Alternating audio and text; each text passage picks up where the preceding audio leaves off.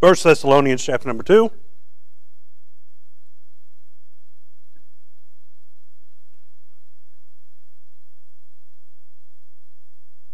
Verse number 5 is where we're going to start reading. And then here in a minute, we're going to turn a few pages, go to Second Thessalonians. But First Thessalonians chapter number 2, verse number 5. For neither at any time used we flattering words, as ye know, nor a cloak of covetousness. God is witness. Nor of men sought we glory, neither of you, nor yet of others, when we might have been burdensome as the apostles of Christ, but we were gentle among you, even as a nurse cherisheth her children. So, being affectionately desirous of you, we were willing to have imparted unto you not the gospel of God only, but also our own souls, because ye were dear to us, dear unto us. For ye remember, brethren, our labor and travail for laboring night and day, because we would not be chargeable unto any of you. We preached unto you the gospel of God. Ye are witnesses, and God also, how holy, holily, and justly, and unblameably we behaved ourselves among you that believe. As ye know how, we exhorted and comforted and charged every one of you, as a father doth his children, that ye would walk worthy of God, who hath called you unto his kingdom and glory.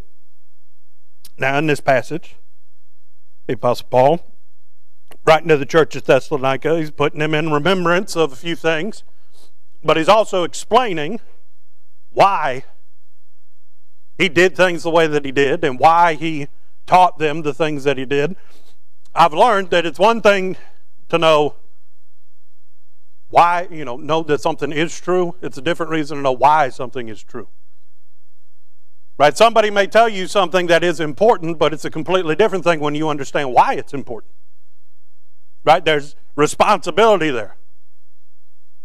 Right? Yeah, anybody remember when you as kids and your parents asked you to do something you don't understand why, so you didn't do it? Right? Same thing, only bigger consequences here.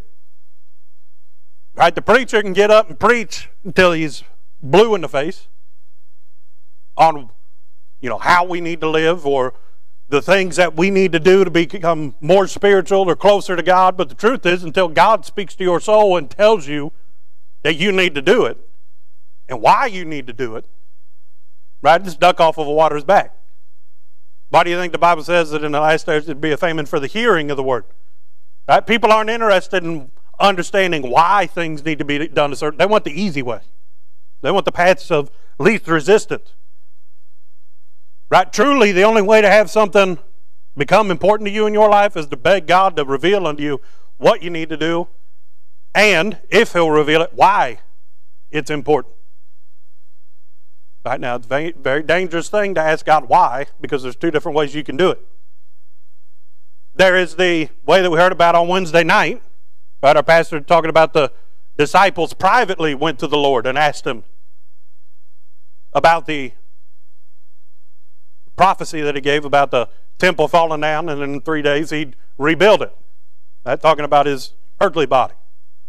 Then he made the prophecy that there would be a time that that great temple would, no stone, no stone would be standing on top of one of the other stones.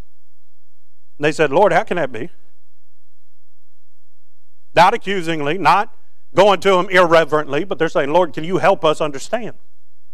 Then there are the people to get on my nerves that just say, well, why did God have this happen? Because He's God.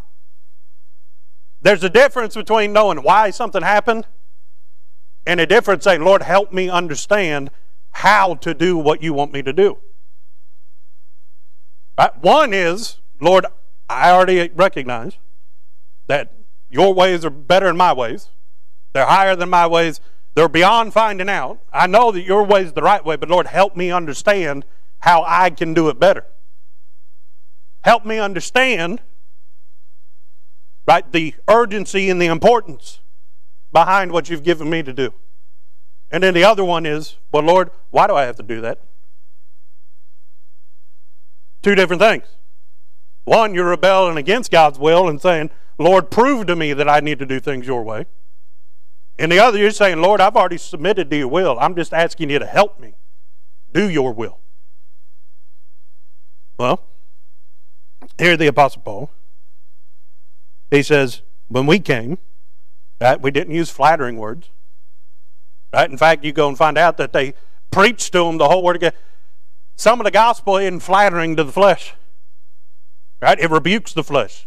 It cuts against the flesh. Right? It makes the flesh feel like it's sin cursed, which it is. Right? That's not a pleasant experience. But he didn't come using flattering words. No, he just gave them the truth. Right? They didn't use a cloak of covetousness. What's that? They weren't double handed in their practices with them. They wouldn't say, well, we'll share the gospel with you if you feed us for the day. No. Goes on, verse number six, they didn't seek glory of men. They were there for one purpose and one purpose, purpose alone to bring glory and honor to God, but also to take the gospel to those that needed it. They didn't care what the, you know, so called blue bloods of the day thought of them. All they cared about was what God thought about them. But in verse number seven, although they didn't use flattering words, although they weren't blowing sunshine at everybody that they talked to, right? Some people didn't like it, but what they said that they were gentle. Right? I mean, the Bible says that if a man can offend not in word, that that's a testament of the fact that he's learned how to rein in his flesh. If you can say what's true, but not offend the other person, in other words, drive a wedge between you and another person, that's a testament, according to God, that you've reined your flesh in. You're no longer letting emotion drive you. You're no longer letting the impulses of the carnal man drive you. Instead, you've fully been able to rein in your flesh and compel it to do that which God has instructed you to do. He says, We said some things that were very controversial. Keep in mind, this is the same guy that when they went into Greece, right, there was a big old pantheon of all these different gods because they didn't want to leave any of them out. And then they left one over there that said to the unknown God, just in case they didn't figure out one of them that they needed to be worshiping. And the Apostle Paul stood up and preached and told them how every single one of their gods in that pantheon right, didn't exist, had no power. But yet at the end of it, they're thanking him because he told them the truth. He said very controversial things, but he did it gently. Right? He did it with care. Why? Because, verse number 8, being so affectionately desirous of you, we were willing to have imparted unto you not the, the gospel of God only, but also our own souls because ye were dear to us. He says, We imparted part of ourselves unto you. He said, You could tell that when we were, we weren't preaching to try and prove you wrong. They weren't having a debate in the middle of the town square. Right? It was a pleading call that if you don't receive what it is that I have to offer, you're destined for an eternity in hell. Right? They did it with love. He said, as the love of a nurse for a child. They cared. Which is why, even though they had to confront them, with the fact that what they believed wasn't right. That all of their traditions and their rituals wasn't going to get them anything, any, you know, for all of eternity. At the same time, because they loved them, they did it. How? Gently. Right? It's one thing for the person to say, this isn't going to hurt, and then rip the band aid off. It hurts. Right? If some people, if they really care, because it takes a little bit of extra step, they'll go and they'll get a wet washcloth and soak the band aid first, and then it just comes right off. Both of them, you're doing the right thing. Right? Probably getting ready to change the bandage. Right? Check up on how the cut's healing. Right? But there's a difference between doing what's right and doing what's right in the gentle way. Did not they say that Christ was meek and lowly? That he turned no man away? I mean, he only loved us with an everlasting love. Everyone that came to him in earnest, what did he do? He answered the question. They left different than the way that they came. But see, they didn't just go and start causing pain with the words. I mean, it may have cut to the heart, may have cut the flesh, but they didn't offend them. In fact, they were appreciative of the fact that they had preached the truth unto them. Said we were gentle. That you wouldn't want me as a doctor, especially a surgeon. You say, why, brother? I've just got this habit where I'm a bull in a china shop. Doesn't matter what it is. You want to demolition a house? I'm your guy. You don't even have to tell me you're tearing it down. I'll just find a way to bring the whole thing down. You give me enough time. I don't mean to. Just that's how things are. Right? You give me something sharp and tell me to put it into a very small space, chances are it's going to hit some stuff it's not supposed to. Right? But also, if you've got a broken bone, you don't want me setting it. I've got the chance to, you know, the way my mind works is, and this may be wrong, but if it's worth doing, it's worth doing with everything you got. So if you've got a broken arm, you may walk away with two broken, you know, two bones broken if you want me to reset it for you. Well, I know it's going to take a lot of effort to get this thing back. Let's just give it everything we got. Right? That's not always the best approach. There's this thing called moderation. Right? Knowing your limits. Never learned that one yet. We're working on it. Do you say? There's been a lot of things I've tried to put together that I broke because the thing that was supposed to go right here wouldn't go right there, so I made it go right there, and then it broke. That's not how the Apostle Paul and those that went with him on his mission trip, not how they handled the gospel. They weren't forcing it into anywhere. They're very gentle. But the message that they had was controversial, wasn't flattering. But the way that they delivered it, they weren't hateful, they weren't judgmental. What was the biggest rebuke that the Pharisees had to Jesus? That he was the friend of publicans and sinners. He, they didn't turn those away that came to him. They didn't care where they came from. All they cared about was the fact that they wanted to know more about Christ. They dealt with the person gently, but they dealt with the sin very seriously.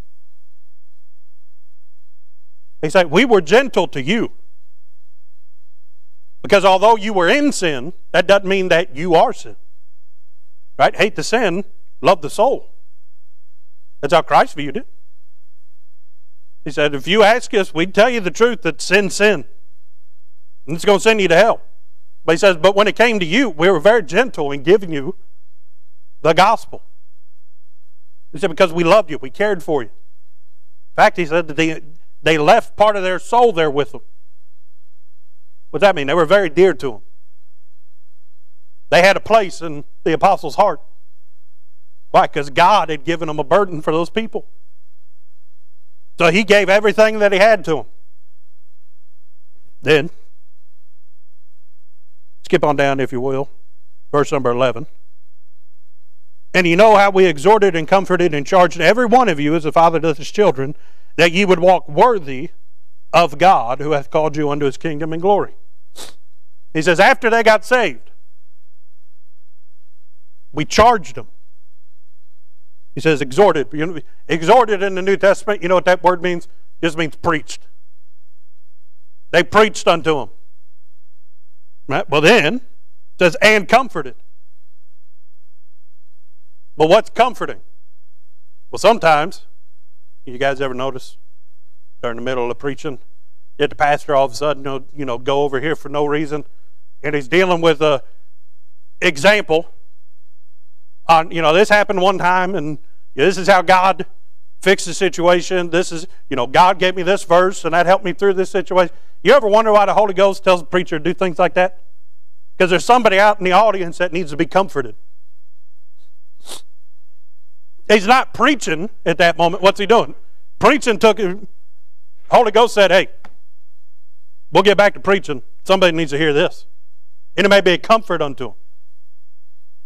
Right? But then it also says, goes on, and charged. Now you can charge while you're comforting, and you can charge while you're exhorting. What's that? That's putting somebody into the realization or trying to help somebody realize how important it is that they do something. If you give somebody a charge, you're entrusting them with a duty. But when you entrust someone with the duty, you also have to convey the seriousness of that duty. Right? You don't put somebody and just say, hey, watch this door for the rest of the night. Right? Just stay here and make sure nobody goes in, nobody goes out. Well, it's locked, isn't it? Yeah. Well, then why do I need to be here? Right? Wouldn't be surprised if you find that guy sleeping on the job. Whole different thing if you give the guy a uniform and say, hey, this is a bank, and at night we don't want people breaking in. We got a whole lot of security, but you're the first line of defense. Something happens, call the police. Something happens, get inside and hit that panic button. Right? Same situation, but one of them you let the guy know how important the job that he was doing really was. The other one, you're just giving, we don't just, somebody get saved and say, here you go, good luck. Right? Part of the growing process as a Christian is understanding this thing called spirituality, this thing that God called us under His ministry, under the kingdom of God, He entrusted us with the most valuable thing on the entire earth. That's the gospel of Christ. Right? It's one thing to say, well, you should go out and witness. Another thing to say, God expects you to go out and witness. God expects you to go out and witness not how you want to witness, but how God wants you to go out and witness. God wants you to not only witness by the direction of the Holy Ghost, He wants you to live by the direction of the Holy Ghost. There's a difference between committing something unto somebody, that means just giving them the list. There's another thing to charge somebody with a action or with a duty. Right? Well, that's part of that, like we talked about earlier, difference between understanding, well, this is what God expects and this is why God expects it. Why does God expect it? Because He gave His best for you and He expects your best from you. But also, the ways of God, arm of flesh is going to fail you. You can't do it. You have to do it His way because the only way He's going to do it is if you're obedient to do it the way that He said. Right, let's look at. Don't know why Jericho's on my mind, but we heard about Rahab last week, Brother Sidney. If they'd have walked around the city six times on the seventh day, walls wouldn't have come down. They'd have walked around it seven times, but not blown all them trumpets, wouldn't have come down. If they'd have blown the trumpets, but all of Israel didn't shout with a great voice, walls wouldn't have come down. Was it their walking? Was it the shouting? Was it the trumpets that brought the wall down? No. But God said, here's what you can do, and I'll take care of the rest. So he expected them to do what they could do. You say, well, that was silly. No, it was a sign of the fact that they trusted God. Right? They had to live by faith for their faith to be rewarded. Because you could say you believe all day long, but until you put your faith into practice and live it, it's all sounding brass and tinkling cymbals. Proof's in the pudding. I think I've said this before.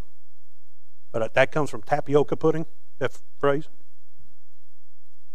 Real tapioca pudding has little morsels of bread in it, dough.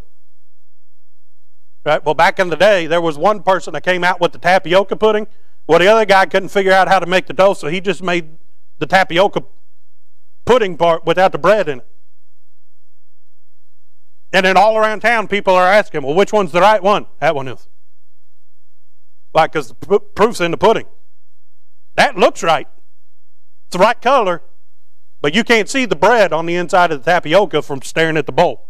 Or if you go down to Kroger, you can't see it from the little clear. Pa- you can see the color of it, but you don't know if there's a bread in there or not. You want to know how you find out? You got to ask somebody that's t- tried it. Hey, is that the real stuff or was that the fake stuff? No, that was the real stuff. How do you know? The proof was in the pudding. Take a big old bite out of it. Guess what's in there? Bread. That's the real stuff.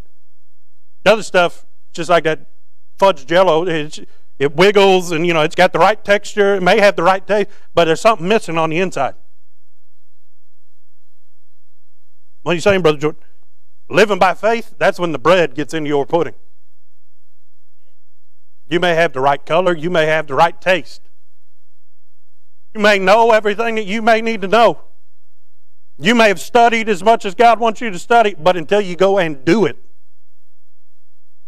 right, there's no substance to it. Don't know how we got onto this, but faith, what is it? The essence of things hoped for, the evidence of things unseen. You know what that means? The evidence of things unseen means even though you haven't seen it, you believe it's there, so you go after it. It's action, evidence. You hope for it, meaning that you believe you're going to get it. That hope doesn't mean that, well, I, if it happens, that'd be great. No. True hope means that you believe it. And evidence of the fact of the unseen. That's not that God's going to roll back the clouds and show you that, hey, what you believe is true. Right? There's enough proof right here for you to believe everything you need to believe. Right? And he gave us the earnest of the Holy Ghost on top of it. Right? Just icing on the cake. But that evidence of things unseen, that's not talking about that your faith, God's going to give you the evidence of the things unseen. No, your faith is evidence of things unseen. You believe it so much, even though you haven't seen it, that your faith actually works its way out and changes the way that you live. You want to know the evidence that the world's going to find that what we have is real? The fact that you live by your faith. Right? Faith is the essence of things hoped for, but I believe it so much that it changed the way that I live. That's the evidence of the unseen. That something's so real to us on the inside that it changed us from the inside out. That's the evidence to the world that your faith is real. Don't know how we got on that, but you're welcome. Okay, but the Apostle Paul said, they exhorted, comforted, and charged every one of them to do what? Verse number 12. That ye would walk worthy of God who called you unto his kingdom and glory. He said, We preached, we comforted, we charged. Right? We helped answer your questions. We helped convey to you the importance of walking worthy of God that called you. And we also preached unto you to give you the instructions on what God expects. But it was pretty important that they took that much time and devoted that much effort. Right, well, turn with me a few pages, if you will. Go to Second Thessalonians.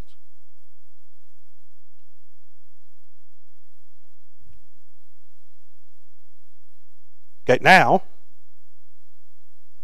the chapter number three.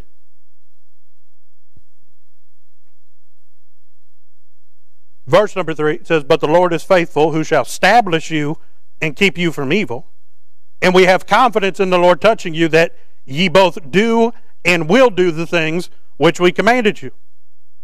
And the Lord direct your hearts into the love of God and into the patient waiting for Christ. What's he saying?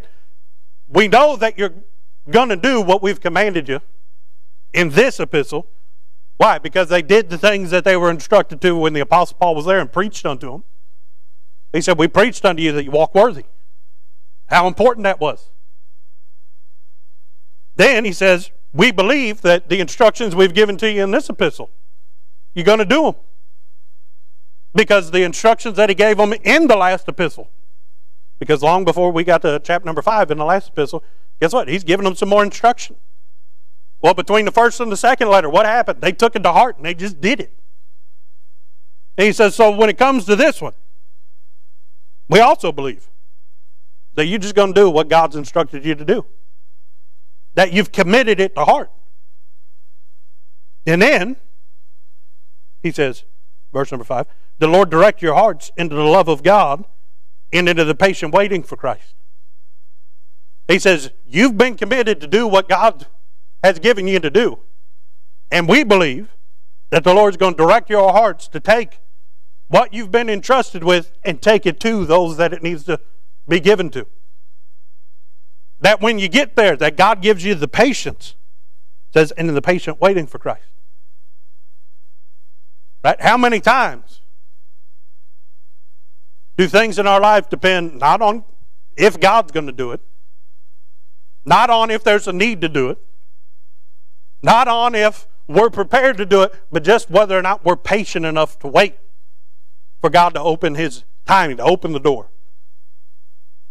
Right? He tells us to sit down, and we don't want to sit and wait as long as we need to. Or He tells us to just walk in a general direction. And we ask, the Lord, how much longer? And He says, just be patient, just keep walking. He said, if a man compel you to go a mile, then we go with him twain. Well, that was somebody that the Jews hated, the Romans. How many miles would you walk for one that loves you supremely and that you love with everything?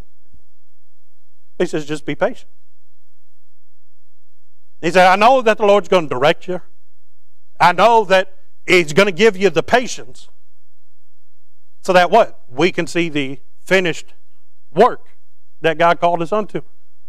Are we going to be able to see the results of every tract that we hand out? No.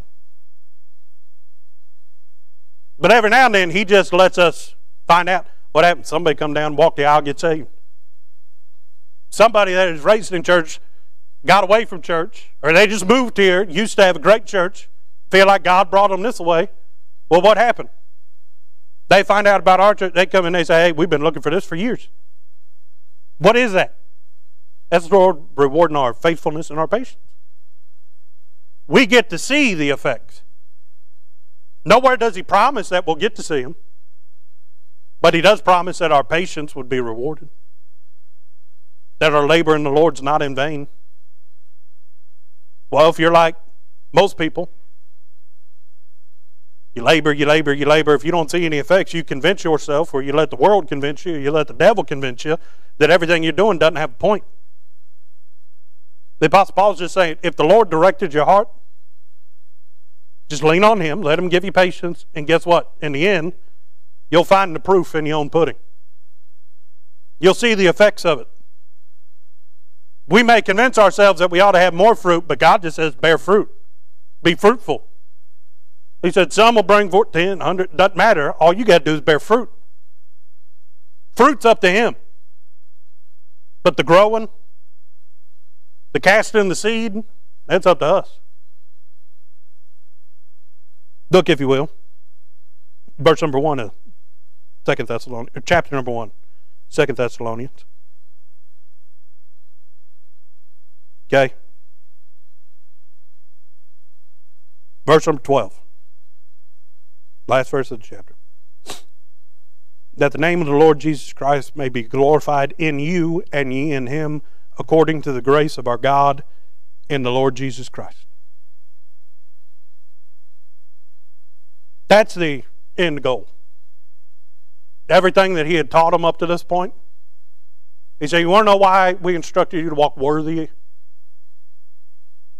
of what you've been entrusted with? Which is the gospel, the good news of God's only begotten Son. To walk worthy of that means that you've accomplished verse number 12 that the name of our Lord Jesus Christ may be glorified in you. What's that? That's where the Apostle Paul wrote that, yet if I live, not I, but Christ liveth in me. He's saying, as long as I draw breath, the whole purpose of my existence is that Christ be glorified in me. I fade to the background and he shine out real bright. No more me, all him. But then, it says, and ye in him. Well, what's that saying? Saying that we've already let the flesh die out. Christ is living in us. But we being a part of him. Bible says, I've been robed in his righteousness so that the Father sees the Son when he looks at me. Bible says that I've been yoked together with him, the Son.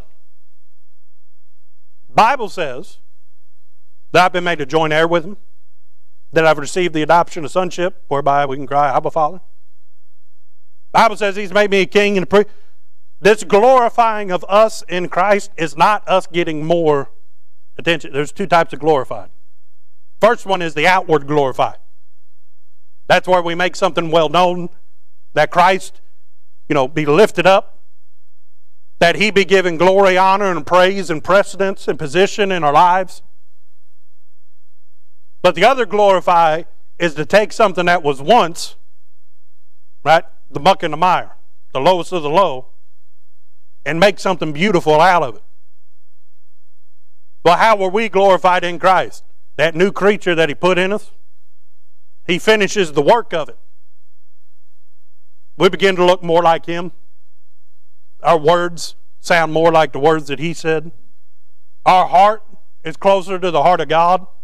Our will is in line with the will of God. He's talking about becoming a vessel of honor. Because how can you walk worthy of the calling that God's placed upon your life if you don't have a vessel that you can present to the world that brings honor and glory unto Him? We're not the one getting the credit.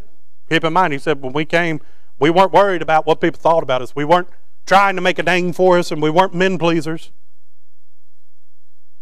He said, We did everything the right way so that you would have a high opinion of Christ.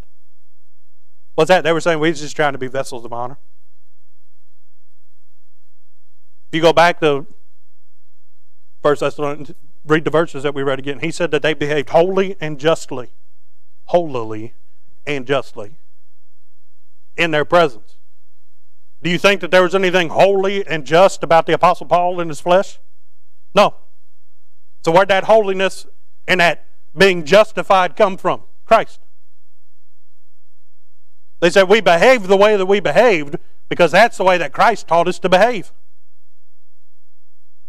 We were just doing our best to do what He told us to do. But He said we did it the right way. And when you do things the right way, guess what? You're glorified in Christ. Then, goes on to say, according to the grace of our God and Lord Jesus Christ. He says, we don't do this on our own. He says, you don't get to, you know, skip all the steps, go from first grade to graduating in one week. He says, Your growth, your glorifying Christ and you being glorified in Christ, comes in waves, and it comes according to the grace of God. You know what that means? God's not going to give you more than you can wrap your head around right now. God's not going to give you something now that would destroy you or break you mentally or emotionally. He gives it to you day by day. Right? Growth to growth. Once you tackle one thing, guess what? God's going to have something else. But you're going to have to have mastered the first before you can begin the second. We can all bring glory unto God, but there's some people that just been praising God for so long and they do it so regularly that they just seem to have a knack for it. You know why? Because They've received the grace that God gave them to glorify. Guess what? They were appreciative for it. They just kept working on it. God kept giving them more grace. He'd reveal unto them through His grace what He wanted to show them next. And they received that grace in appreciation and made it a part of themselves. That's part of what the apostle talks about when he says, knowing how to possess your vessel It's by God's grace that He gives us a vessel or something to do for Him. But there's a difference between knowing that God wants you to do it and how God wants you to do it, which is how we started this lesson off this morning. See, the more you're committed to doing something for God, the more He's going to show you how you can do it. He may give you more things to do, or He may just want you to work on the thing that you're already doing. But as His grace is revealed unto us, guess what? We're responsible to receive it and to let us be glorified in Christ. What's that mean? He takes this no good, dirty, sin cursed vessel, but He polishes it up just a little bit more. So that when people see it, they say, There's not much special about Him, but that one that He's talking about all the time must be really special for Him to go through all the effort and to go through all the persistence to just do what his Jesus wants him to do. Are we telling you to go out and to draw a line in the sand and say, I'm not moving across this line? No, but you should have those moments in your life. You should know this is where God will let me go and I'm not going one step further. But at the same time, people shouldn't have to ask you where you live. People should know what you believe by how you live. And the more you're glorified in Christ, the more your opinions, the more your beliefs, the more your faith, it'll just come out. You don't need to sit down and have a long discourse with everybody. Okay, I want to sit down everybody and go through the doctrines on why I believe what I believe. Right? Try doing that at the lunchroom one day. See how that goes over for you. Everybody clear out real quick. Right? You don't have to sit down and say, well, here's why what I believe is different from what this person believes. No, Christ just told you to live it. And He promised that through His grace He'd reveal little by little what you need to keep growing in Him, to be matured into what He wants you to be. And as long as you're growing, guess what? You're walking worthy of the call. He didn't say that you have to be perfected in your faith in order to be worthy. No, walking, that's continual. You know what makes you worthy of the call? That you care enough to desire to improve. We're honest, well, no, we'll never be perfect. If, you know, in this in this flesh. We're all going to fall short. That's why he robed us in his righteousness. God said, You're good enough right now because when I look at you, I see the Son. Well, why did he give us that robe of righteousness? So that we could continue to mature and the Father would see us, not see our sin, not see what we are now, but see us as we will be, and continue to give us grace. As long as we are committed to continue to do, Lord, I don't know what you want me to do tomorrow, but I know what you want me to do today. Lord, I don't know how this is going to impact anything, but I believe it's the right thing for me to do. What is it? That's just receiving the grace that God gave you, the instructions the revelation through His Word or through preaching that this is what God would want you to do? Or this is how God wants you to change the way that you're currently doing something? And saying, Yes, Lord, committing it unto yourself and purposing to try to live it. You're going to be able to do it the first day? I don't know. Spirit is indeed willing, but the flesh is weak. I know there's a lot of obstacles, but guess what? As long as you're trying, he promised that He would help us. He promised that His grace was made perfect in weakness. What's that mean? The weaker I get, the better His grace is, better His strength is. The more I understand, Lord, this is what I can do, help me do the rest. The more that we grow spiritually, guess what? We're continuing to walk and we're walking worthy because we understand what we are isn't good enough. We want to be more like Him. Now, across the room, there are different levels of spirituality, and I don't know them. Only the Holy Ghost does. But you know what I do know? Doesn't matter where you're at. What matters is, is that where God wants you to be. The only way you get from here to where God wants you to be is today you just got to keep walking. You can either walk worthy of the calling. What's that? Lord, I desire to be what you want me to be. You've shown me this. We're working on this, and I'm just going to keep following after you.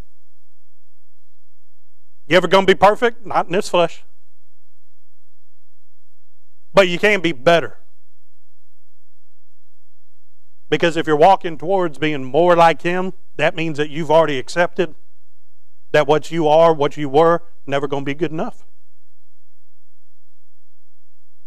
That's what walking worthy of, because our calling is that we weren't enough to save ourselves. We weren't enough to redeem, you know, or to buy one gold brick in heaven. None of it. We're not worthy. That's why he came. But because of him, we can be worthy. We can live with holiness. We can live justified. We can do things the right way, not because of us, but because of Him. Or we can walk in the mediocrity. But Lord, thank you for saving me, but I want to live this way. You're not walking worthy. You're still walking. We all walking somewhere. We're all walking some way. But there's only one way to walk worthy. That's His way. Anything else? You've heard me say this. The reason that He said a man cannot serve two masters. You're either growing spiritually or you're dying. There's no in between. The minute that we stop being committed to growing as a Christian, we start dying as a Christian. The minute that we say, well, this isn't, we can, we can do this later. What are you deciding that the things of God don't take priority in your life anymore?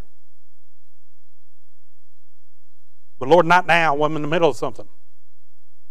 Well, he was in the middle of by him and through him all things consist, which means running everything that there ever is to run. Yet he came and took on the form of a servant, submitted to the death of the cross for you. Whatever it is can wait.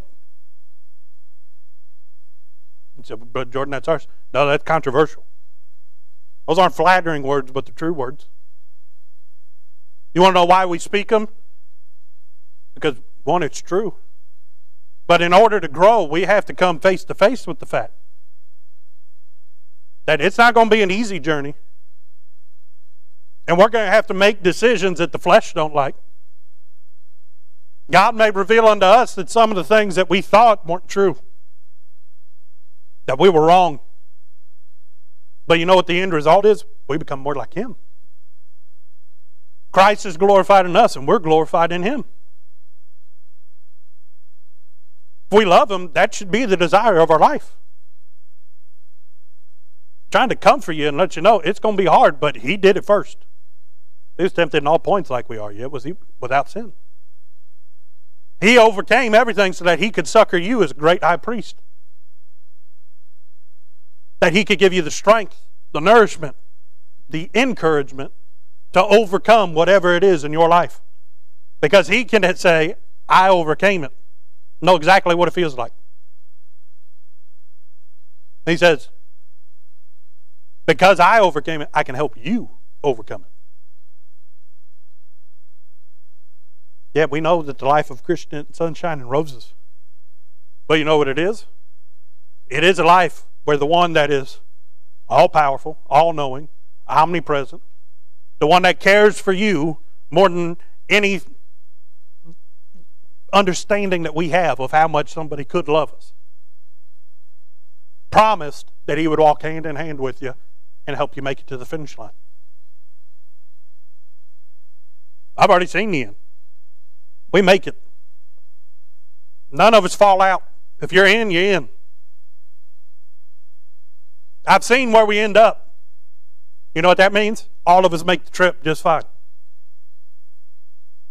The only difference is that some people make the trip holding on to the hand of Jesus, other people make the trip the way that they thought was best. I've seen the destruction thereof. All the wood, hay, and stubble burn up. But all that gold, silver, and precious gems that we lay up in heaven, walking hand in hand with Him, those will stand the test of time. They'll stand the fiery judgment of God. And we'll be able to lay them down at the feet of Christ and say, We did it all because we love you. You know where all that starts? Walking worthy of what He's called us to do. You know where walking worthy starts? Realizing that if we walk in ourselves, we're unworthy. You say, Well, why is it so important? Because we're not walking worthy of the title of a Christian. We're not walking worthy of the Immanuel Baptist Church. We're walking worthy of what he gave us the gospel. You know what that means? That we live our lives in a way that if we were to give the gospel to somebody else, they couldn't find fault in us on why not to believe what we told them was true.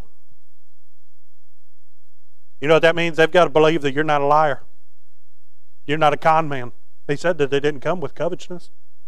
That you're not a gainsayer. Because what he said, we weren't men pleasers.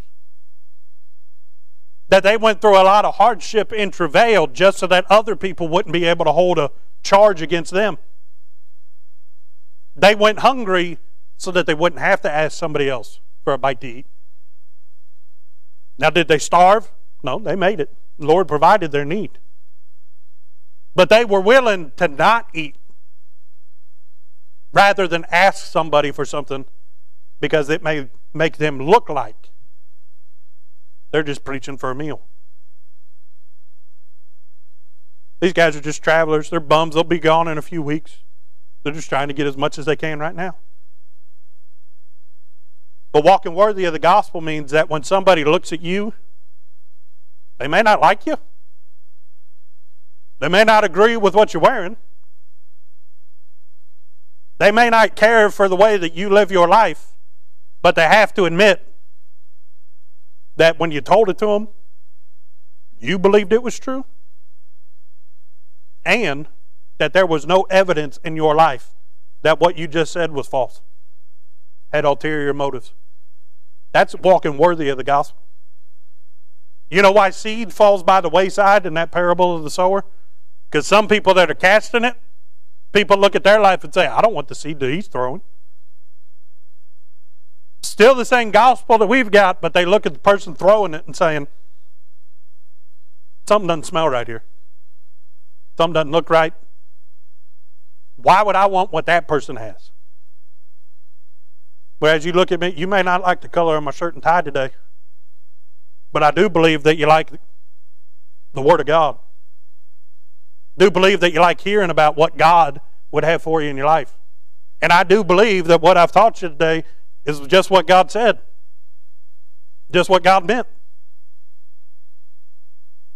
Let me say, there may be something that you don't like about me, but I, I hope and pray that y'all don't think that I'm lying to you while I'm up here. That what I've said is important enough to bring it up.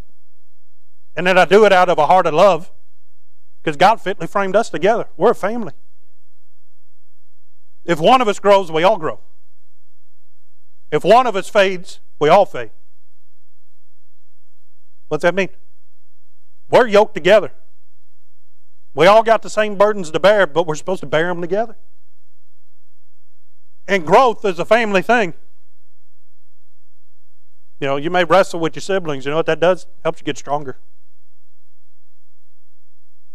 Right? You may play games with family members, and if if you're playing with the Fosters, if you say something dumb, you're going to get made fun of. But what does that do? Helps you get smarter. Right? Working together, a whole lot better than working alone. But all of us ought to desire to walk worthy. Can't walk worthy of the blood because I'll never be worthy enough for the blood. But he did promise that he would equip us for what? What he called us to do. It's to take the gospel. We can walk worthy of the calling. What is that calling? To take the name of Jesus to the world. But what's worthy about us? That we can say we are what we are today because of Christ. That what we used to be wasn't right. But what we are right now, they can't poke holes in it. They can't look at me and find fault, so they've got to look to Christ, and I promise you they're not going to find fault there. But people are always looking for an excuse to ignore what it is you have to say. Walking worthy of the gospel is that people can't just write you off that what your life says is that this is true. And then it's up to them on what they do with it. But I wonder how many of us will be saying before the judgment seat of Christ, where there's going to be a lot of days where the Lord says, You said the right thing, you did the right thing, but because you weren't walking worthy, it didn't have the impact that it was supposed to have. Because the Apostle Paul said, right here, walking worthy. What's that mean? That He can help us continue to do it. It's not a one time thing, it's a day by day thing. And God wouldn't have instructed him to write it if it wasn't or if it was impossible for us to walk every day worthy of the calling. Are we worthy of what Christ did for us? Absolutely not. But can he use us as a vessel of honor to be worthy to take the name Jesus to the world? Yeah. Not on my authority, on the authority of the Holy King James, King James Version 1611 Bible.